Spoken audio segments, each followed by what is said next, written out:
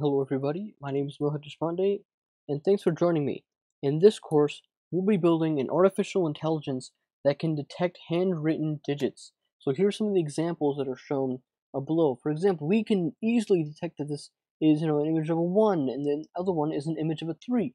But we'll actually be training an artificial neural network to make this determination for us. So we'll give the neural network lots and lots of example images, thousands and thousands of example images, and then we'll see that over time, as we keep feeding it lots and lots of example images, the accuracy will keep going up and up until we get somewhere around, you know, the, the lower 90% accuracy. So that's really, you know, really fantastic with artificial uh, neural networks. And so we're going to be starting with just a, a small neural network, and then I'm going to talk a little bit about what happens when we have larger uh, and larger neural networks.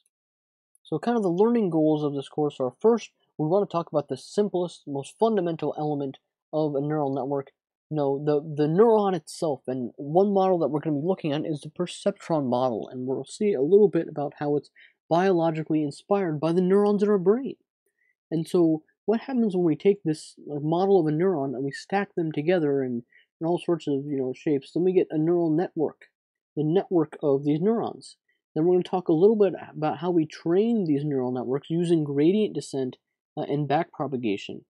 And then we'll be looking at how we can implement these neural networks using the popular machine, learn machine learning library by Google called TensorFlow. And then we'll also discuss how we can do lots of cool visualizations of our training using TensorBoard. We've been making courses since 2012, and we're super excited to have you on board. Online courses are a great way to learn new skills, and I take a lot of them myself. Zenva courses consist mainly of video lessons that you can watch at your own pace and as many times as you want. There are also downloadable source code and project files which contain everything that we build in the lessons.